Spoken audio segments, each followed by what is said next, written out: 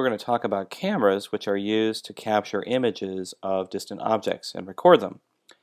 The first cameras actually had uh, a very different uh, pattern than what we are used to seeing today. They are known as pinhole cameras or sometimes called camera obscura. What's the goal of a camera? Well, the goal of a camera is to capture an image. An object is reflecting light off the, from, a, from the sun or other light sources in all different directions. So in this picture, uh, the, the gentleman here has light rays reflecting off of his pipe and off of his jacket in multiple directions.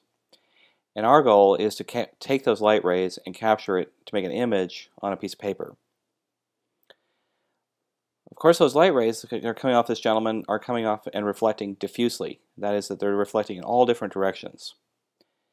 And the drawing shows a collection of light rays coming off of two spots and heading in all different directions. And of course, now they start overlapping when they start to get uh, to the paper. So there's going to be confusion because some of the rays from his coat are overlapping with the rays from the pipe. And so it's hard to come up with a single spot on a piece of paper and say, oh yes, that's the collection of light that came from his pipe, or oh yes, that's the collection of rays from his jacket, because all those rays now overlap. It just looks like white noise. Ideally, what you would have is on the piece of paper, all the coat rays would hit one part of the screen, all the pipe rays would hit another part of the screen, all the rays from his shoes would hit another part of the screen, and so on. That's what you would have when you have a proper image. Well, the first cameras that were ever made achieved that goal by simply putting a small pinhole in a barrier. So in this graphic, you imagine the object, the man, standing in front of a barrier, and the barrier has one tiny pinhole in it. Any light that wants to get over here to the far right where the screen is has to pass through that hole. And as you can see, the light from his jacket is going to pass through the hole, keep going in a straight line, and end up on a, a certain spot on the screen. The light from his pipe is going to pass through that hole and end up in another little spot on the screen. That actually does make an image. So a pinhole was the first type of, uh, of camera to ever be made.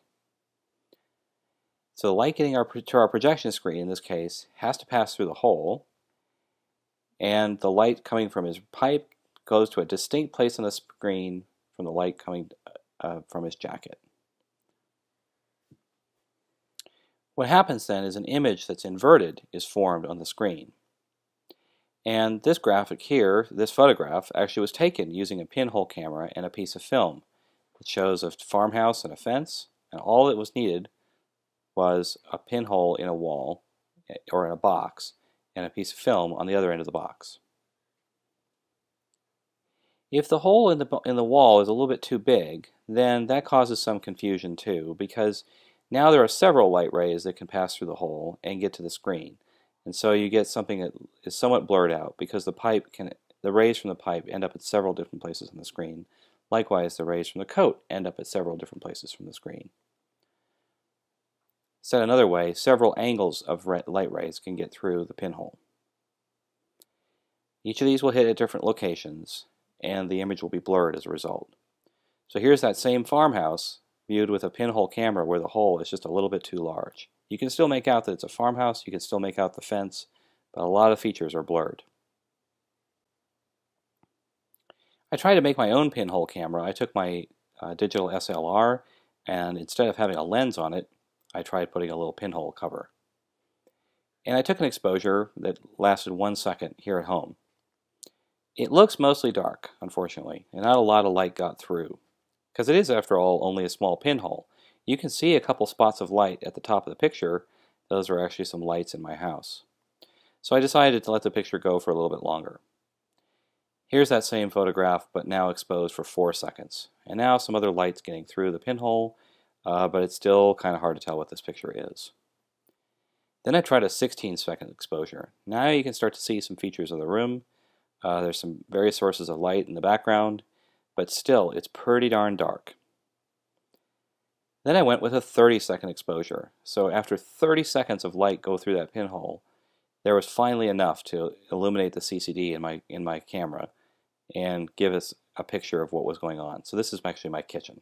You can see the stove, you can see some fruit on the counter, you can see a, a, a, mixer, you can see a teapot, all those things are showing up. And the original two sources of light were actually a couple of lamps uh, underneath the stove.